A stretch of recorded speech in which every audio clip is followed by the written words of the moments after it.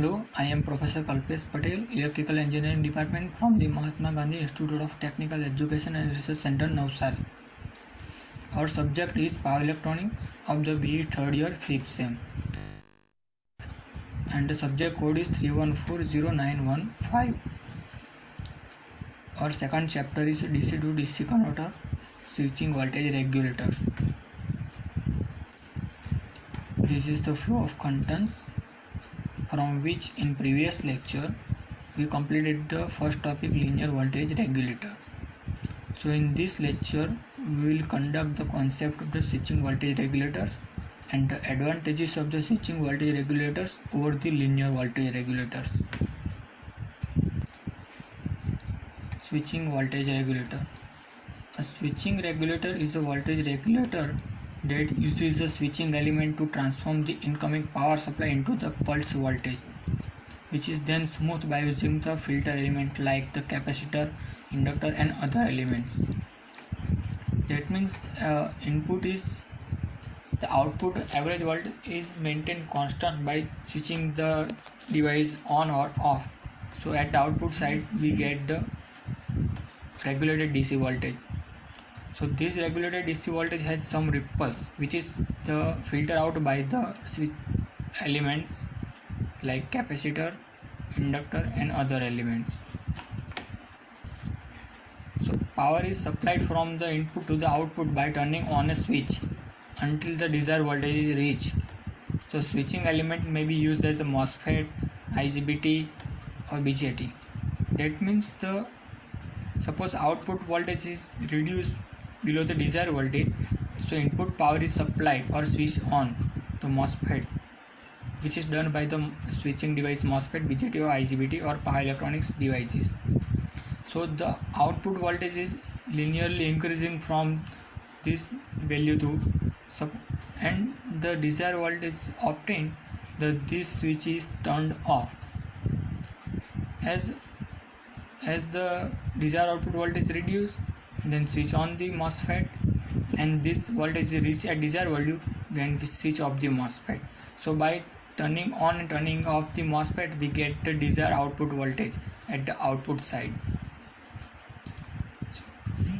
So once the output voltage reach so switching element is turned off and no input power is consumed. So the efficiency will increase because and during the off period no energy is supplied by the input side. So compared to the linear voltage regulator, the efficiency of the switching voltage regulator is high. Efficiency of the switching voltage regulator is very high, so the power dissipated across the switching element is very low. So size of the heat sink will be reduced. This is also the one more advantage of the switching voltage regulator over the linear voltage regulator. We understand the concept of switching voltage regulator by this diagram. This is the basic diagram of the switching voltage regulator. So here one is load and one input voltage and this is the switching elements maybe MOSFET or transistor So the output is sensed by the control circuit and control circuit are used to turn on and turn off the switches device. So this is the control switch. And this is inductor which is used to filter out the ripple current. And this is the capacitor which is used to ripple out the voltage. That means capacitor is used to maintain constant voltage and the inductor is used to supply the current continuously. So here we get the constant dc voltage out output side. So these two element inductor and capacitor is are used as the filter elements. Switching operations. Suppose we uh, control control circuit turn on this switch. So the voltage is increased from this value to this value. And if we turn off the switch at this voltage so now the output voltage is decreasing from this value to this value. Against the switch is turned on the output voltage is increased. The switch is turned on output voltage is decreased. So if we calculate the average value of this waveform so we get the average value at this time. So the output average voltage may be uh, change from one level to the other level. Either may be a step up or a step down. So switching element is used to cut or supply the input voltage to the load. So at load side we get the desired output voltage but which is not the constant DC voltage. So we, we change the output voltage uh, average voltage of the output. Consider the input voltage V in and input when the switch is on the out, uh, input voltage is V in which is appear at the output side. And switch is off input voltage is 0 so output voltage is 0 so at the uh, output side we get the pulsating DC voltage. Suppose we this switch is on we get the voltage at output side. And when switch is off the output voltage is 0 when again the switch is turned on at this point we get the output voltage which is the same as the input voltage. So we calculate the average value of this waveform we get the average value. So it is average value that means the load is driven by the average value. So input is fixed voltage V in at some this level but at the output side by stepping down the input voltage we get the average value. Which magnitude is lower than the input voltage. So this period is switch on period and this is the switch off period. So total time t is the summation of the t on time and t off time. Now we increase the uh, turn on time and decrease the turn off time but the cycle time period remain t is constant. So the output average voltage will increase. In previous case the switch is turned on for this time only. If we increase the turn on time of the switch from this value to this value so these portions we get at the output side which is the more compared to previous value. And the switching period is in previous case which is the large and it is reduced to this value. So we get the more output voltage at output side which is this. The output voltage is increased by the increasing the duty ratio. That means by increasing the turn on time of the switch. Suppose we continuously turn on the switch we get the constant dc voltage or output DC voltage which is same as the input voltage. As we decreasing the time period of turn on time we get the at output side decrease the average voltage. Suppose switch is turned off completely so we get the zero output voltage. So by changing the time period or on time of this MOSFET or switching element we get the variable DC output voltage at the output side so at the output side we get the average voltage but uh, there is no any kind of voltage drop across the switching elements. So the efficiency of the switching voltage regulator is higher than the linear voltage regulator because we completely transfer the in power in from the input side to the output side.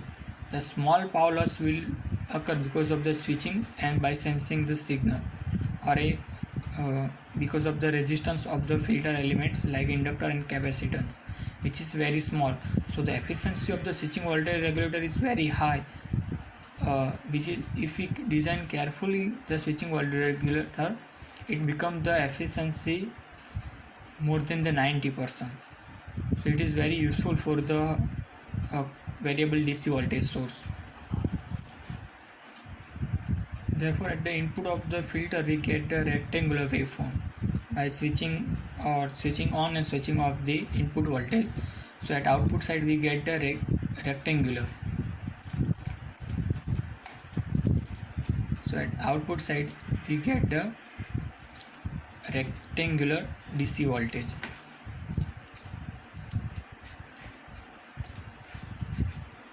The average value of this waveform can be adjusted by changing either the duty cycle or a frequency of the rectangular pulses produced by the pulse generator. That means by changing the duty cycle or on time of the off and off time of the switching element we control the average output voltage.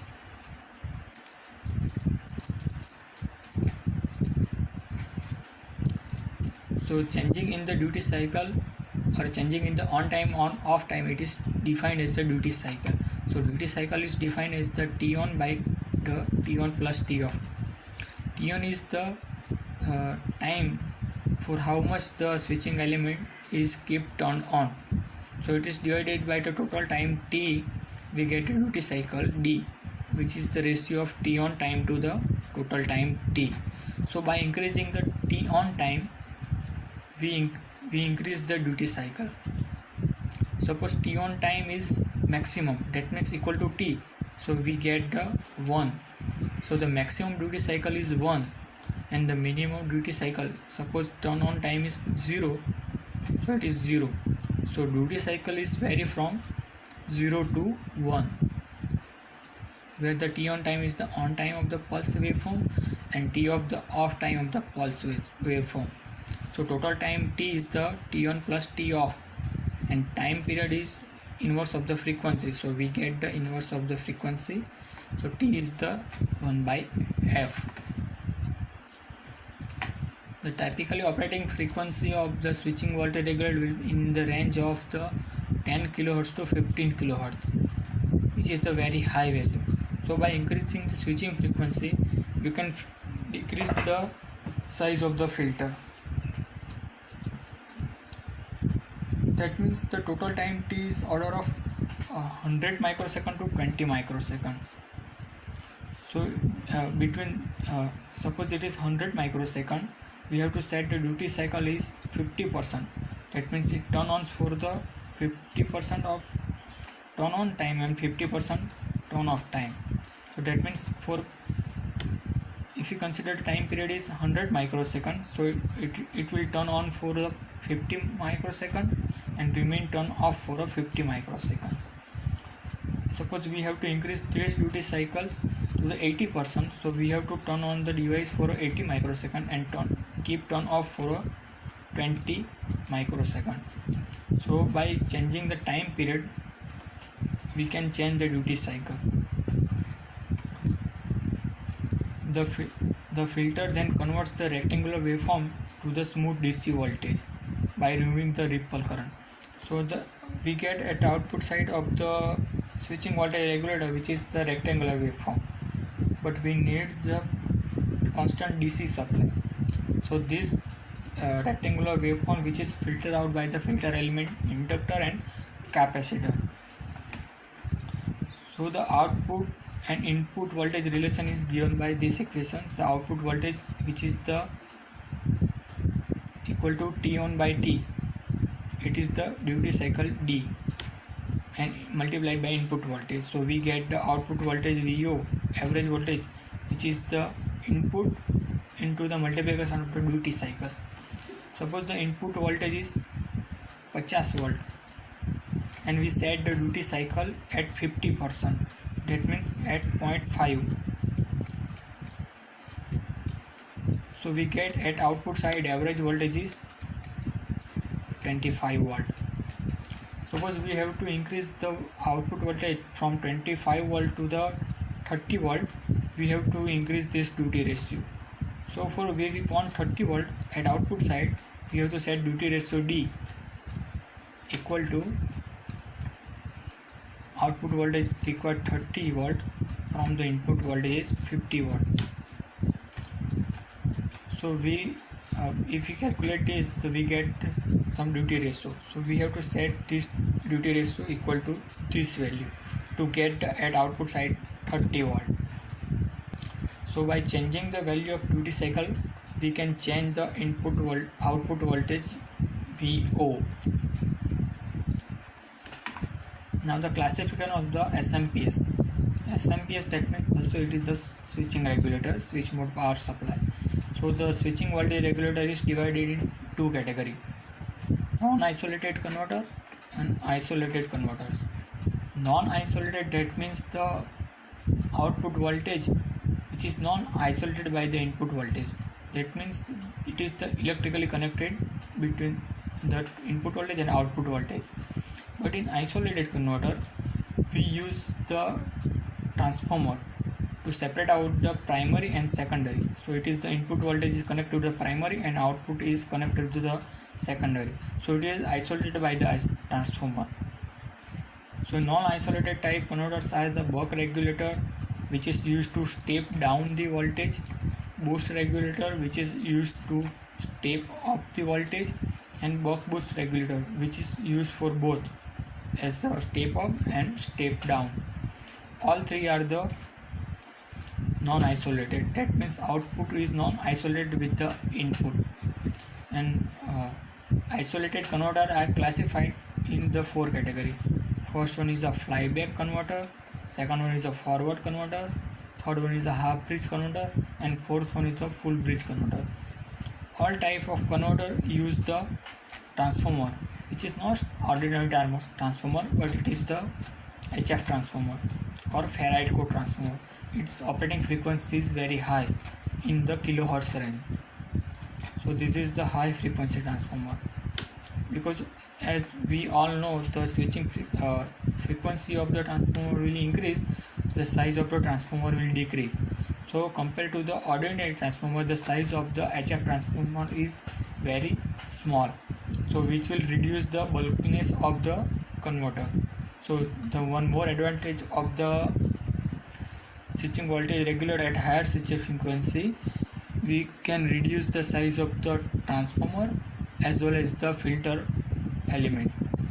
So by so the size of the switching device become the compact compared to the ordinary transformer power supply. Now the concept of the step down configurations. With the step down output is less than the input voltage which is controlled by the element transistor Q1 turn on and turn off. Suppose we want output supply 20 volt and input is 30 volt. So in this situation we have to use the buck converter which will step down the input voltage. Suppose the input voltage is required 20 volt but in initially it is 0 volt. So output is 0 volt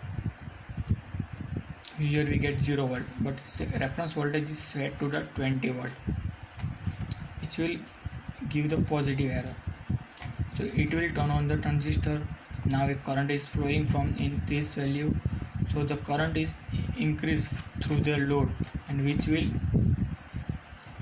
which will increase the voltage from 0 to the linear value. And this voltage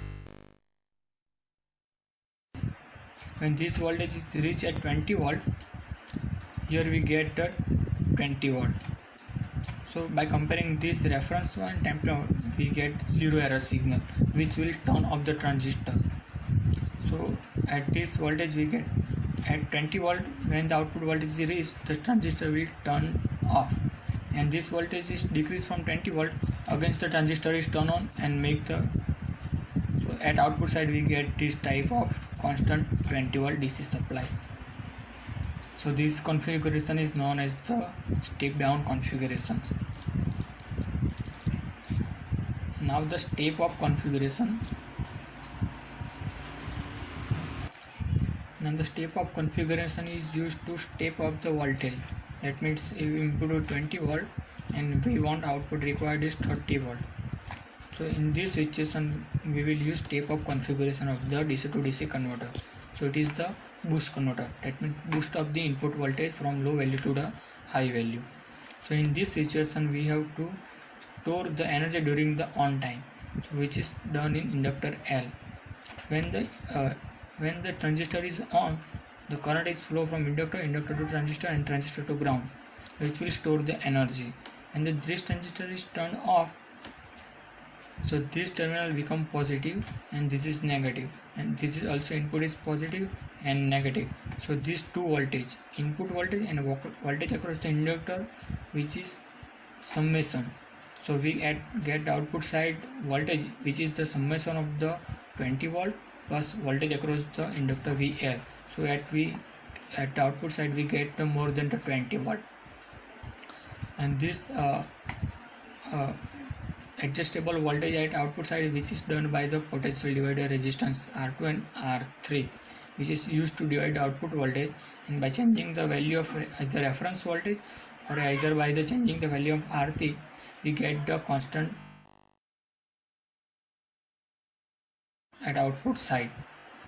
So in this manner the switching element is connected parallel to the load so during turn on it stores the inductor energy L and during turn off of the transistor this energy is added to the input side. So here we get the higher than the input voltage. So the advantage of the switching voltage regulator its efficiency is high low heat generations because there is no any kind of power dissipated. It can it is it is used for the step up step down that means boost buck or negative voltage regulator. In linear voltage regulator it is only work for the step down the input voltage. And the disadvantage of the switching voltage regulator are more external parts required.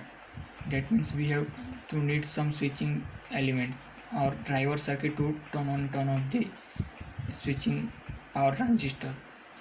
So its design is very complicated and increase the noise because of the switching now the difference between linear power supply and switch mode power supply by definition it completes the stepping down of the AC voltage first and then it converts it into the DC means in linear power supply First AC is stepped down by the transformer and then it is regulated by the IC. While in switch mode power supply, it converts the input signal into the DC first, then it step down the voltage up or, or down at the desired level. Efficiency. Uh, very low efficiency about 20 to negative 5 percent. And in SMPS it is very high efficiency about 60 to 65 percent. If we design carefully then it becomes more than 90% voltage regulation voltage regulation is done by the voltage regulator. So voltage regulator IC will be used as the to maintain the constant voltage. While in the switching mode power supply voltage regulation is done by the feedback circuit which sends the output and maintain the constant DC voltage at output side by comparing the reference and the actual output. Weight because of the AC transformer ordinary AC transformers its weight is very high. So it is bulky but in SMPS it less bulky because of the high frequency transformer. Reliability more reliable in comparison to SMPS its reliability depends on the transistor used for switching. Complexity it is less complex it is more complex. Radio frequency interference no interference because there is no any kind of switching.